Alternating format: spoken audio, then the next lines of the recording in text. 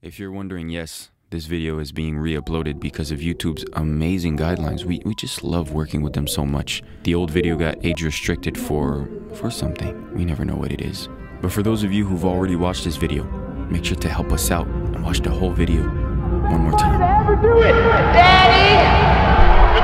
The UFC might not be paying their fighters really well, but they sure know how to run a fighting business. I can't wait, man. March 5th is getting closer. So is this knee to your temple. This just doesn't get much bigger. The third pay-per-view event of the year in UFC 272 goes down March 5th, and the date couldn't be more fitting. 305, the area code of Miami, and it happens to have two of Miami's own headlining the event as Colby Covington takes on Jorge Masvidal in a welterweight headline. I know they used to be roommates. They trained every day. They coached each other. From a story standpoint, we love guys who used to be boys and now they're enemies. While it will take place in Las Vegas, the occasion is still massive, as this is a fight just about everyone has wanted to see for a while now. To further highlight just how huge this fight is, let me remind you that there is no title at stake. In fact, this is the first non-title main event not featuring Conor McGregor or Nate Diaz since Anderson Silva fought Nick Diaz all the way back in January 2015. That is why, despite there being some fun fights on this card like Edson Barboza versus Bryce Mitchell or Kevin Holland versus Alex Oliveira, we'll solely take a look at the main event because quite frankly, it deserves all our attention. Welcome to the fighting business. Come along as we take a deeper dive into the UFC 272 grudge match between Covington and Masvidal, a fight that has been in the making for over two years.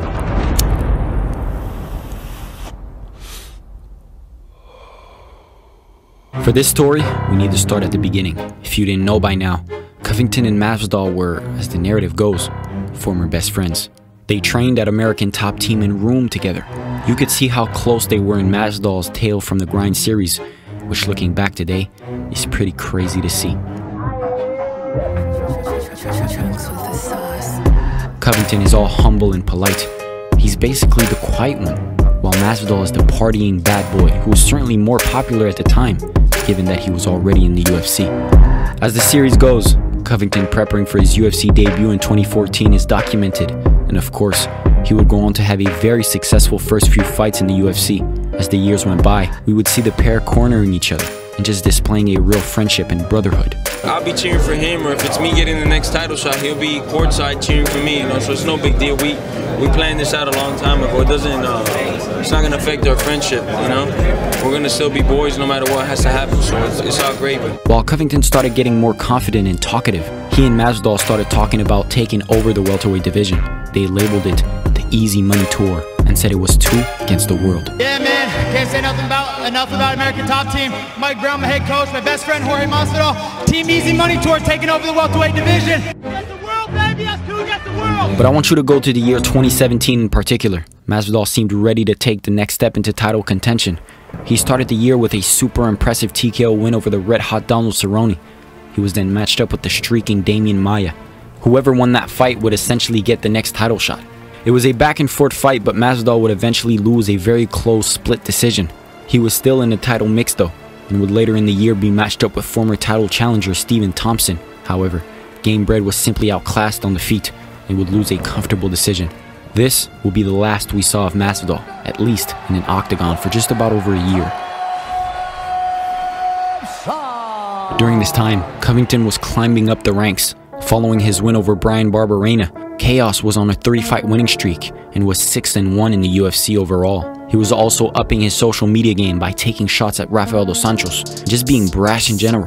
If you were somewhat of a hardcore fan at the time, you probably started getting aware of Covington right before his fight with Dong Hyun Kim in June 2017.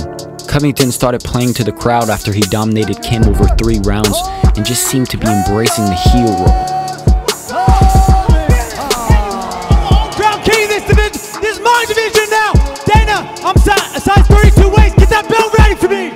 Really began Covington's notoriety was his next fight, which happened to be against Maia in September 2017. It was two months after Maia had suffered defeat in his title fight with then champion Tyron Woodley. Covington wrapped up the trash talk and, after winning a comfortable decision, said something the Brazil crowd would never, ever forget.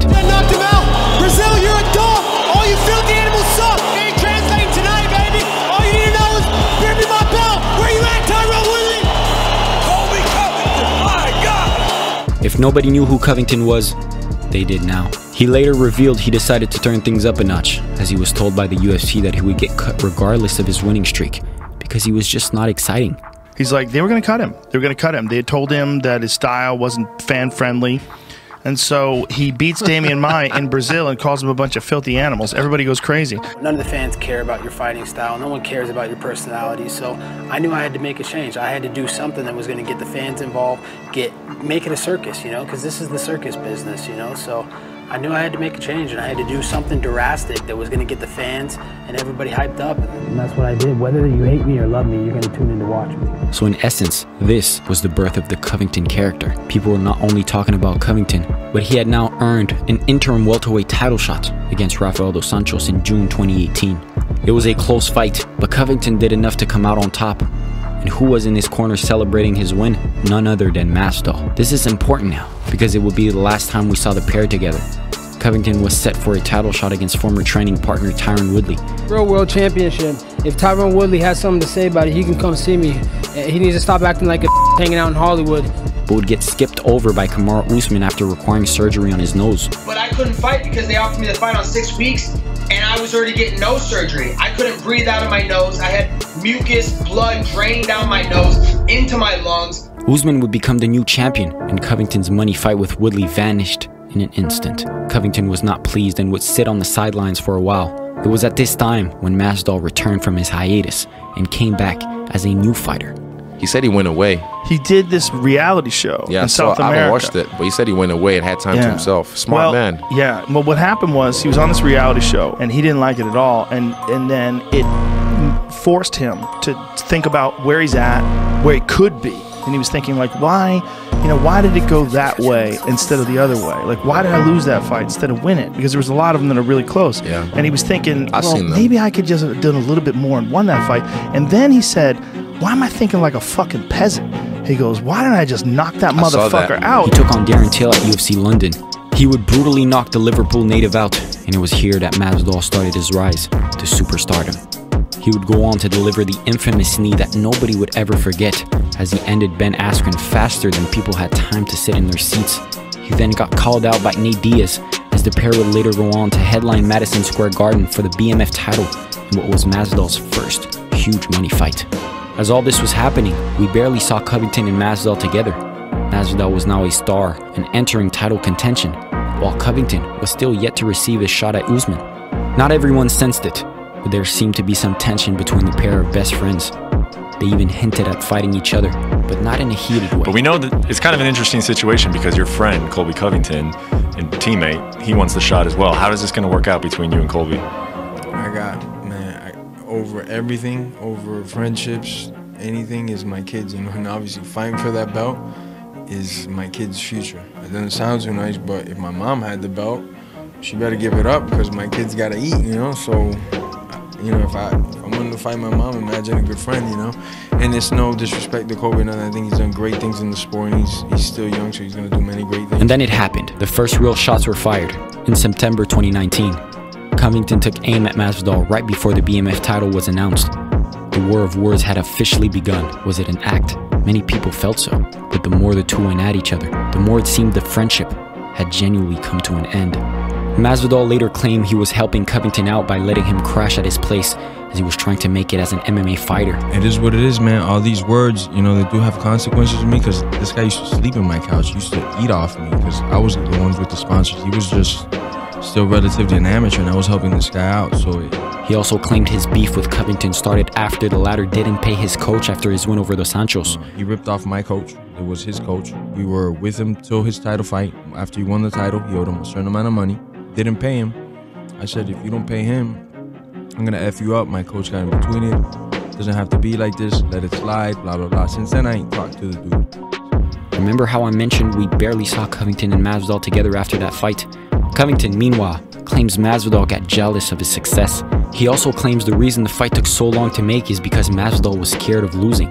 The evidence? The wrestling footage from back in the day which clearly shows Covington having the upper hand. I reckon that day I was getting every single takedown hand I skipped once. The hell that we read about every round. Remember the 10 minute ride out? I remember coming up to you after the 10 minute ride out. Got out once in that 10 minute ride out. No, you didn't get out once in the 10 minute Yes, I did. It's a ride out. That, that means you didn't get Whatever the real story is, These two do not like each other, and their beef is almost certainly not scripted like many are saying. We, we cut off the communication a long time ago. You know, when, when he started to get jealous and envious of my rise and success up to the top, you know, he, he wanted to backstab me like the bum he is, you know, like he does to everybody. He likes to use people. I mean, Covington is not even with American top team anymore. He got kicked out because he kept getting into altercation with Masvidal. It's more like loyalty to me. Like you, you can't do somebody wrong that that I love. You know, you, it's just not gonna happen. I, I got kicked out of the gym for trying to assault him one time, and then I used to go to the spots that he used to frequent a lot, and got the police called on me and things like that. You know, so um, I know a lot of people think like, man, you're an idiot. You're a professional fighter. Why would you do that? Because I feel like. And Jorge was not the only ATT fighter who had a problem with Covington. Just ask Dustin Poirier or Joanna Jędrzejczyk. If I fight Colby, we're both going to jail. I'm going to jail. I'm not going to fight him in the octagon. He's not making money off of my, off of my career and what I've done. This is something different, you know. Uh, you, will, you will never see me fight Colby Covington in the UFC. Covington, what is your message to Colby right now? There's He's a lot a prick. He's a I prick. I don't care about this guy. What- you know? what- he what- doesn't know how to act, you know. He's not a real man. He doesn't know how to say hello, good morning, hi, so sorry to a woman. So And let's not forget how Covington is making things personal by bringing Masvidal's ex-wife into the picture. Nobody is going that far to sell a fake rivalry.